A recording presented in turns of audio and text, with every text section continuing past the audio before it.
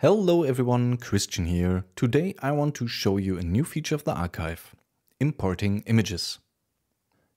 Adding visualizations to your notes and reference images for your research can make a huge difference, and the archive makes capturing all this very easy now. I'm going to demonstrate how to import pictures from Finder into your notes, how to grab images from websites, how to insert screenshots, and how to manage the images from the archive. To put files from your computer into your notes, drag and drop them into the editor. The archive will ask how you want to import the picture. You can link. This will keep the file where it is, and its path will be referenced. This can be useful if you already manage your pictures elsewhere. You can copy. This will put a copy of the image into the media folder that the archive manages. You can also pick Move. This will put the file into the media folder as well, but by moving instead of copying the file.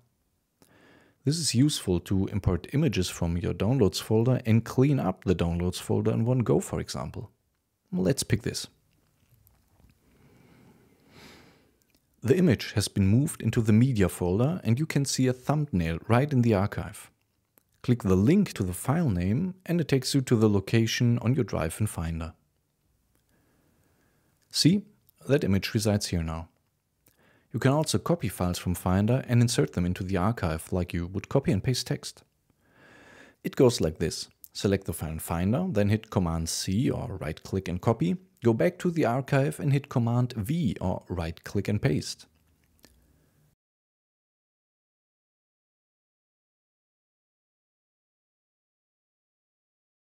The image has been copied into the media folder this way.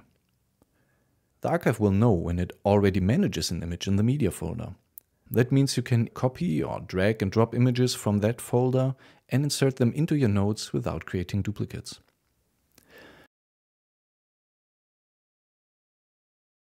See, it didn't ask how to import because there's no importing left to do. The same goes for copying. Copy and paste of images works with a couple of different kinds of applications. For example, chat apps like Apple's own messages, but also web-based ones like WhatsApp. To demonstrate that pasting works with not just files, let's open a picture and grab a piece of it.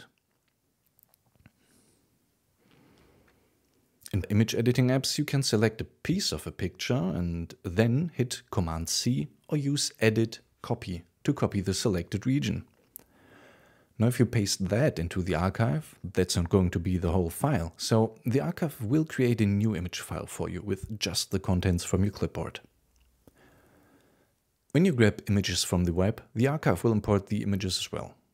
Here we're looking at a picture of the knowledge flower from Sascha's recent post.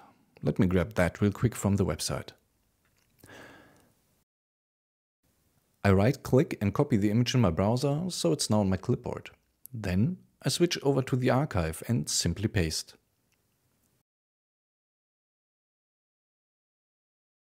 There you go, the flower is now in the node, and the archive stored a copy of the image to disk in my managed media folder. The image file name is the same as the original, just as it was for images copied from Finder. Let's say I don't need the date from the original file name in front of it and want to rename it. I can do this from the archive like so.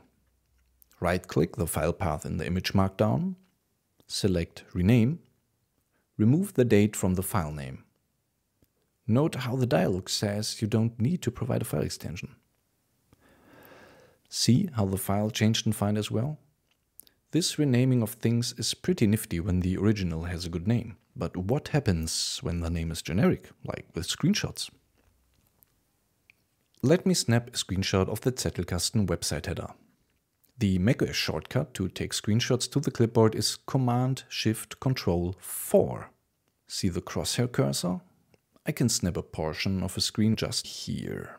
Now the snapshot is in my clipboard. I can paste it in the archive. Command V, there you go. Since screenshots on macOS are stored as PNG files, the archive knows that this is also going to be a PNG. To the left, a new image appeared in the Managed Media folder. It has an automatically generated file name with a PNG file extension. To rename, we'll do the same as before. First, right-click the pasted image file in the image markdown part, pick rename, and then we'll call this Zettelkasten website header. I'm using this a lot when I document user interface details while programming, or to embed graphics from articles about coding techniques. So, to manage pictures from within the archive, you can rename images from the right-click menu, click the file path to open in Finder, and also copy the full path to the picture, maybe when you want to link to it from a reminder or some other application. Select Copy Link from the context menu here, and when you paste it somewhere else, you get the full path. Well, that's it. That's the final piece for today. I hope you enjoyed the demo and experiment with pictures and screenshots in your notes a bit more. See you soon and I hope you have a great rest of your day.